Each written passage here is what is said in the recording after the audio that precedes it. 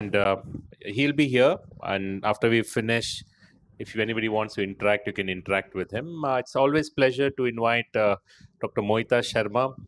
I think one of the very, very big things a society of any society in this world has created uh, is to create uh, a, a registry of rare, rare eye diseases, uh, rare eye conditions, and many things on this. It's just not about uh, having a registry of it. It's about a complete change in the mindset of how a society should work for. Of course, conducting meetings and other things we all do, but the society should work for bringing in people together uh, to create uh, to create uh, an environment or ecosystem where they can work together to bring in more education into the into these uh, diseases and uh, i don't want to introduce her everybody knows dr mohita sharma and her team uh, she would represent the rare eye disease registry in this innovation i think this is one of the very good innovations which happened in the last two years Thank you so much, Dr. Rohit. I thought it was a little um, misfit this topic in innovations, but you very beautifully put it together in the innovation session itself.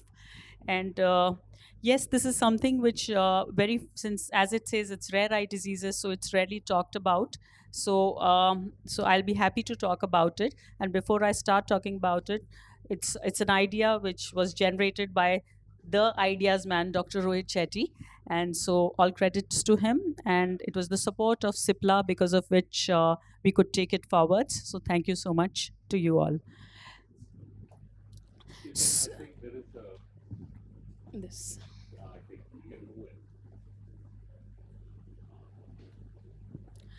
So first of all, uh, whenever we talk of rare eye diseases, everybody tends to think, why should we even bother about these rare eye diseases? Yes, it is important to bother about these rare eye diseases. Imagine a situation where any of your near or dear one had uh, rare eye diseases and there was no proper diagnosis. The doctor told you that there's no proper diagnosis. I'm not sure whether what disease it is. And the doctor also said that there was probably no treatment for it and he was not sure as to what to do about it. So imagine what you would feel. So it's the same thing that our patients also feel.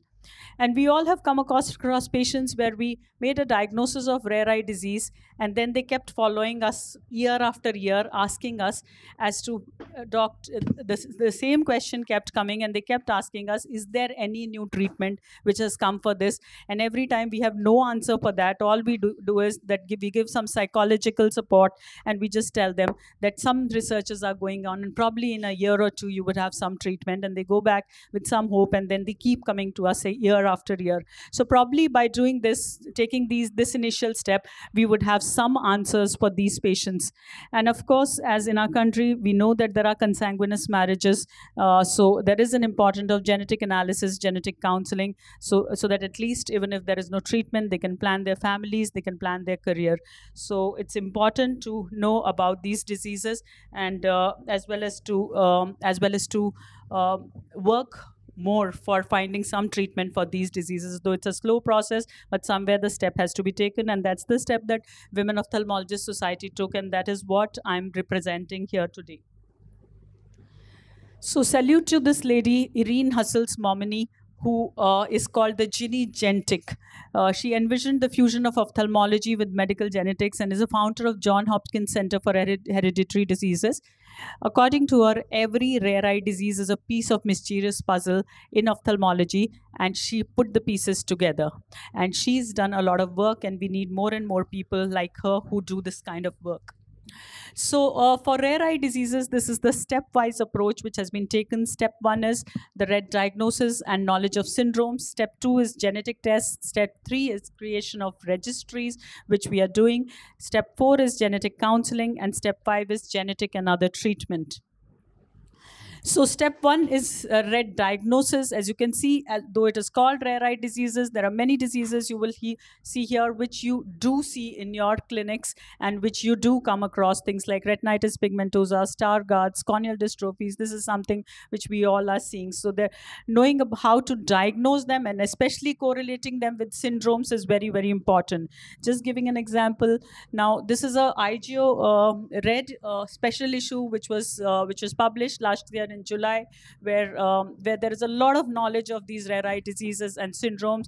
And when we want to thank IJO and uh, the whole uh, Red editorial team, many of the girls are sitting here who who are responsible for uh, making this happen. And this is a this is first of its kind document all over the world which talks about rare eye diseases and gives a lot of information. Example being a simple thing like uh, we uh, saw if somebody sees a case of hypertensive retinopathy in a young patient, uh, we, and along with this ret- uh, with uh, corneal erosions, posterior lenticular retinopathy, we have to look beyond. Is it a is it a syndrome? Now, if we look, if we have, have that knowledge where we look beyond and we look for chronic renal failure, sensory neur- neural deafness, and ocular si- and other ocular signs connected to it, then only we would know it's a syndrome. It's a Alport syndrome. So only when we have a knowledge of this would be would we be able to diagnose diseases. Similarly, uh, a patient with uh, phacoemulsification with a IOL implantation, anterior vitrectomy under general anesthesia. Now, when we look beyond, we look for uh, things like generalized ichthyosis, mental retardation, spastic paralysis, etc. We know it's a Sjogren-Larsson syndrome. So, first and foremost step is knowledge of these, and these otherwise these rare eye diseases get missed, and that is what is important. Uh, similarly, retinitis pigmentosa, it is already known that um, that there are so many new, uh, known mutations, and when when we know about these mutations, we will be able to diagnose that as to which particular syndrome it is it, with which the uh, retinitis pigmentosa is associated. So it has to be a multidisciplinary approach involving the physician, pediatrician, geneticist, and a genetic counselor. Now, the step two in this uh, in this in the in the stepwise approach is genetic testing, which should be an integral part of the diagnosis.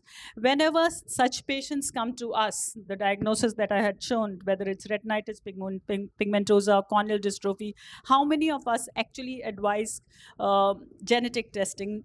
I feel none of us or very few of us would even think of getting a genetic testing done because the big question is is it actually useful? Why should we get this genetic testing done? Even if we get it done, what is the big use of and how will how will this help the patient? So here I want to say that this step 2 has to be taken by all of us and it is not difficult difficult at all and because if we take this step 2 one is when we know the known mutations since there are known mutations we'll be able to make our diagnosis of syndromes better Second is we will be able to predict whether such a risk is present in the first degree relatives or not.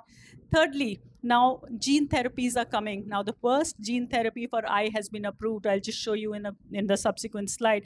Now since this is approved and gene therapies are coming and clinical trials are going on, only when we make these diagnoses we will be able to identify which are those patients which need to be directed towards these clinical trials and we would have a pool of our patients already ready when the gene therapy is there in our country.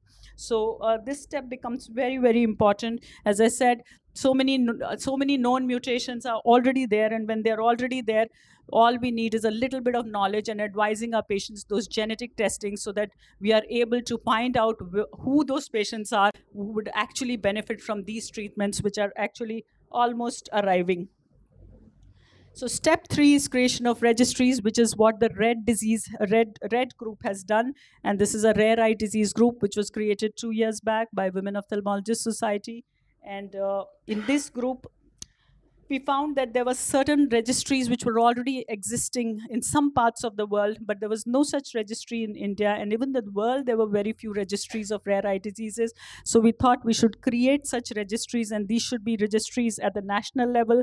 And this is what the Rare Eye Disease Group has started. So the steps in this are going to be uh, national registries and genetic testing, counseling, rehabilitation, support groups, and low vision aids. So this is the pilot project which was started where national registries are getting created. And in this phase one has already been done where some diseases have been identified, leads have been identified, coordinators and investigators have been identified, and ethics clearance has been taken. The second phase where templates have been designed for these diseases and now the process of training has uh, is getting started for all the investigators and as yet we are ready to enroll investigators. So anybody who's interested can uh, can become an investigator for these diseases and they can apply and we can get back to you.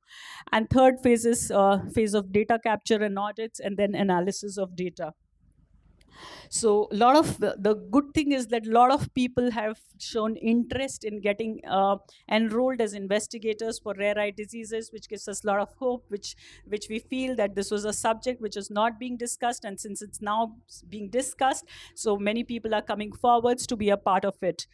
Uh, step four, as I said, is genetic counseling, very important for emotional and psychological support, for family and career planning, and for treatment and research options.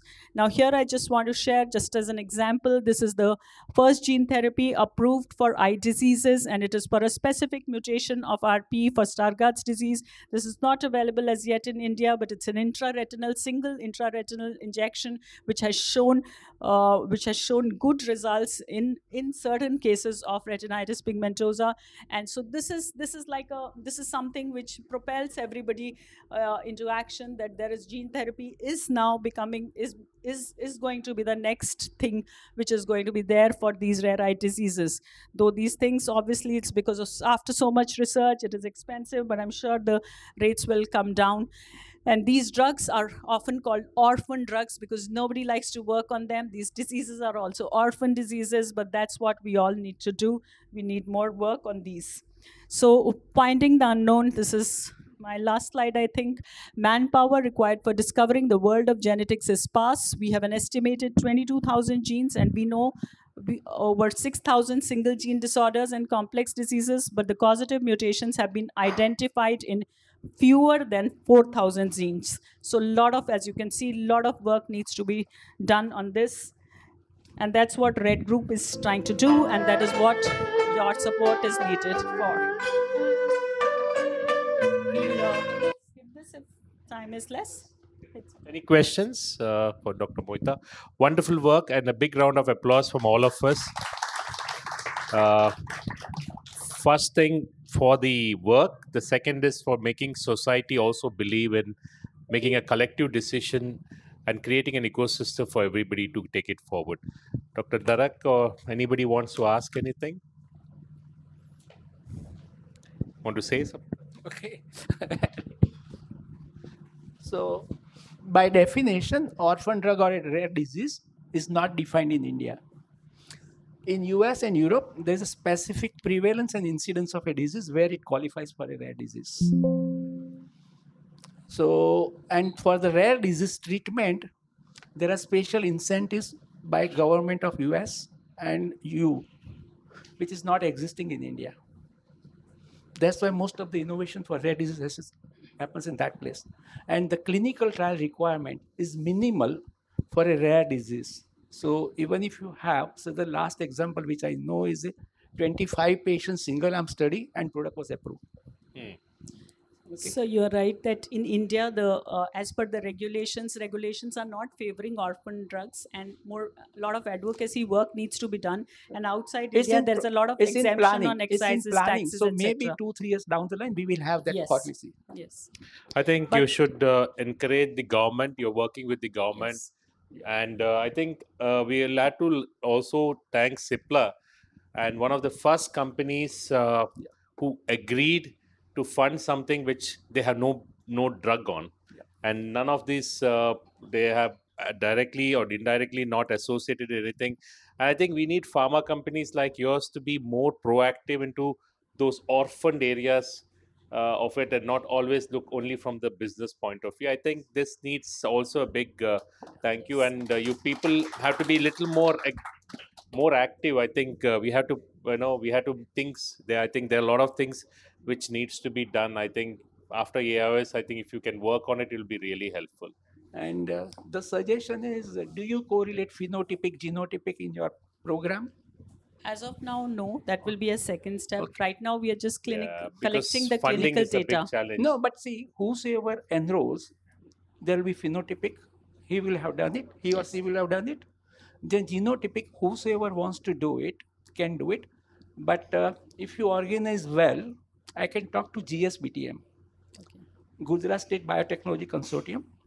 Probably they will do in a research mode, and for a particular disease where they get interested, they can you do should it free. probably include him as one of your advisors. as an advisor. because his, his knowledge is phenomenal. Help. Yes. Thank you. Any thank you. Thank you.